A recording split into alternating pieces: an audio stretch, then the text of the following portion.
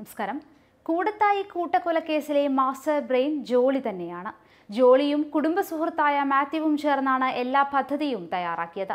ഇതിൽ പലരും മൂകസാക്ഷികളായി. ജോളിയുടെ രണ്ടാം ഭർത്താവ് ഷാജുവിനെയും ഭീഷണിപ്പെടുത്തി കൂടെ നിർത്തി. അതുകൊണ്ട് തന്നെയാണ് പോലീസ് ചോദ്യം ചെയ്യാൻ വിളിപ്പിച്ച ഷാജുവിനെ വിട്ടയച്ചത്. അന്വേഷണത്തിന് നേതൃത്വം നൽകുന്ന Kozhikode rural S P K G സൈമണാണ് ഇക്കാര്യം അറിയിച്ചത്. ജില്ല വിട്ടുപോകുമ്പോൾ പോലീസിനെ അറിയിക്കണമെന്ന നിർദ്ദേശം സഹിതമാണ് ചോദ്യം ചെയ്യലിന് ശേഷം ഷാജുവിനെ വിട്ടയച്ചത്. ഷാജുവിനെ വിശദമായി ചോദ്യം ചെയ്തെന്നും എല്ലാ മൊഴികളും റെക്കോർഡ് ചെയ്തിട്ടുണ്ടെന്നും ഇവ വിശദമായി പരിശോധിക്കേണ്ടതുണ്ടെന്നും എസ് പി വ്യക്തമാക്കി. മൃതദേഹങ്ങളുടെ രാസപരിശോധന വിദേശത്ത് നടത്താൻ ഡി ജി പി ലോക്നാഥ് ബെഹ്റയുടെ അനുമതി ലഭിച്ചെന്നും എസ് പി പറയുകയുണ്ടായി. സിലിയെയും മകളെയും കൊലപ്പെടുത്താൻ ജോളിയെ സഹായിച്ചതായി ഷാജു സമ്മതിച്ചെന്ന് റിപ്പോർട്ടുണ്ടായിരുന്നു. കൊലപാതക വിവരം പിതാവ് സെക്കറിയയ്ക്ക് അറിയാമെന്ന് ഷാജു മൊഴി നൽകിയെന്നായിരുന്നു റിപ്പോർട്ട്. എന്നാൽ ഇതൊന്നും ശരിയല്ല എന്നാണ് ലഭിക്കുന്ന സൂചന. കൊലപാതകങ്ങളിൽ ഷാജുവിന് നേരിട്ട് പങ്കുണ്ടെന്നതിന് തെളിവ് കിട്ടിയിട്ടില്ല. എന്നാൽ ജോളിക്കും മാത്യുവിനുമെതിരെ നിരവധി തെളിവ് കിട്ടി. അതുകൊണ്ട് കൂടിയാണ് ഷാജുവിനെ വിട്ടയച്ചത്. എല്ലാ ചോദ്യങ്ങൾക്കും ഷാജു ഉത്തരം പറഞ്ഞത് ഒന്നും ഒളിച്ചു വയ്ക്കാതെയാണ്. തനിക്കുണ്ടായ ജാഗ്രതാ കുറവും പിഴവുകളും ഏറ്റുപറഞ്ഞ് പശ്ചാത്തപിക്കുകയും ചെയ്തു. ജോളിയുടെ രഹസ്യ ജീവിതത്തെക്കുറിച്ച് ഒരെത്തും പിടിയും ഷാജുവിന് ഉണ്ടായിരുന്നില്ല എന്ന് ബോധ്യമായപ്പോഴാണ് പോലീസ് ഷാജുവിനെ വിട്ടയച്ചത്.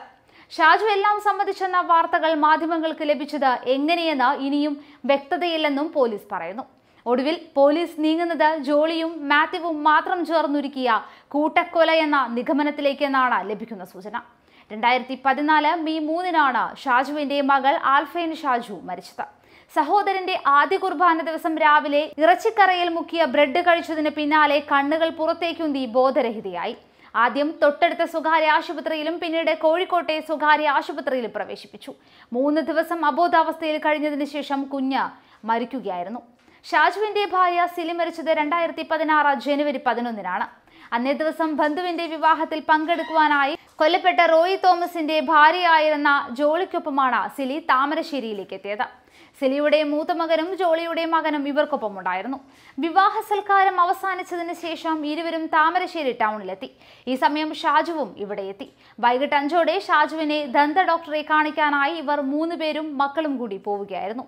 ഷാജു ഡോക്ടറെ കാണാനായി അകത്ത് കയറിയപ്പോൾ സിലിയും ജോളിയും പുറത്ത് വരാന്തയിൽ കാത്തിരുന്നു.